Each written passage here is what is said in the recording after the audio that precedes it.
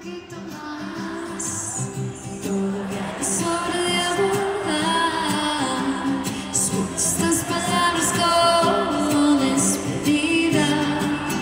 Como despedida. ¿Por qué no quieres explicarme? ¿Por qué dejaste de amarme? ¿Acaso todo siempre fue una mentira? Porque yo